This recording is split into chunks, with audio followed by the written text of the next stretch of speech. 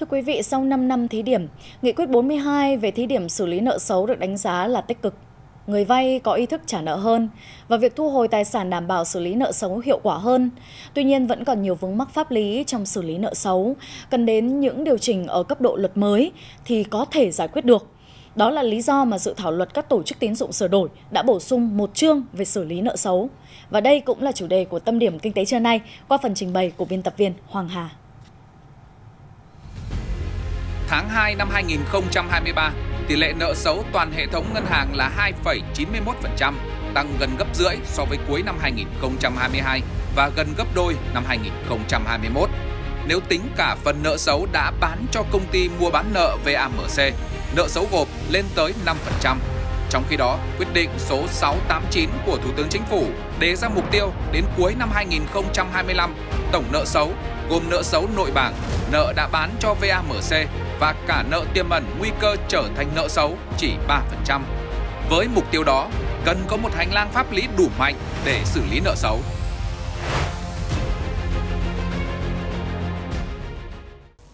Thưa quý vị, những con số vừa rồi cho thấy tỷ lệ nợ xấu đang tăng lên và áp lực nợ xấu vẫn sẽ tiếp diễn từ những bất ổn của tình hình kinh tế, chính trị thế giới và cả từ sự đóng băng của bất động sản trong nước.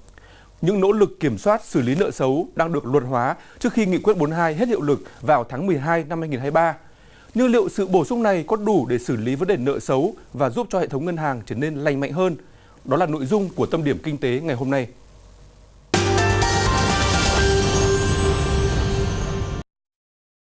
Kể từ khi Nghị quyết 42 về thí điểm xử lý nợ xấu có hiệu lực, mỗi tháng các tổ chức tín dụng xử lý được khoảng 6,3 nghìn tỷ đồng nợ xấu, cao gần gấp đôi so với trước khi nghị quyết ra đời. Tuy nhiên, nghị quyết này chỉ là thí điểm và không giải quyết được một số vấn đề trong xử lý nợ xấu. Chúng ta thu nợ đàng hoàng cho vay đàng hoàng không thu được nợ, có tài sản được giao kết bởi hợp đồng tín dụng, được thỏa thuận tại các hợp đồng thế chấp tài sản đảm bảo, được đăng ký giao dịch đảm bảo nhưng không được thu giữ. Nó ở vướng mắc ở quy đạo pháp luật nào? Rồi chúng ta được hẳn một cái nghị quyết 42 cho thu giữ là được xử rút gọn. Vậy thì từ khi nghị quyết 42 có hiệu lực đến nay mà không xử được vụ rút gọn nào thì tại sao? Với thực tế tỷ lệ nợ xấu đang có nguy cơ tăng lên và nghị quyết 42 sắp hết hiệu lực, các chuyên gia tài chính cho rằng cần có hành lang pháp lý rõ ràng hơn, thông thoáng hơn để xử lý nợ xấu. Đó là lý do dự thảo luật các tổ chức tín dụng sửa đổi bổ sung hẳn một chương về xử lý nợ xấu. Ở đó, Ngân hàng Nhà nước đã dựa trên cơ sở tổng kết nghị quyết 42 và luật hóa các quy định xử lý nợ xấu. Tuy nhiên, luật này chỉ điều chỉnh các tổ chức tín dụng và về lâu về dài, các chuyên gia cho rằng cần có một luật riêng hoặc một khung pháp lý độc lập để giải quyết các vấn đề liên quan đến nợ xấu. Cái nội dung của nghị quyết 42 thì được đưa vào cái dự thảo luật mới ờ, không có nhiều cái thay đổi và đặc biệt là chỉ áp dụng cho các tổ chức tín dụng thì tôi nghĩ rằng là uh, cũng là cần thiết đối với lại ngành ngân hàng. Nhưng nếu mà lâu dài thì chúng ta cần phải tính đến một cái phương án là làm cái luật hay một cái văn bản mà xử lý nợ xấu chung cho nền kinh tế. Trong đó ngân hàng đương nhiên là trọng tâm trọng điểm. Cùng với đó, chuyên gia của tập đoàn tài chính quốc tế thuộc ngân hàng thế giới khuyến nghị cần mở cửa thị trường mua bán nợ xấu, cho phép các tổ chức phi ngân hàng và các nhà đầu tư nước ngoài tham gia.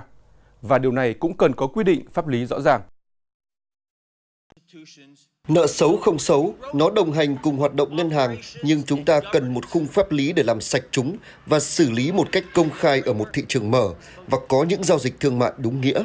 Ở Việt Nam chúng ta đã bàn nhiều tới vấn đề này, nhưng đến nay vẫn không có một giao dịch mua bán nợ xấu nào đúng nghĩa thị trường, mà chủ yếu là mua bán trên bảng cân đối kế toán giữa các ngân hàng và VAMC.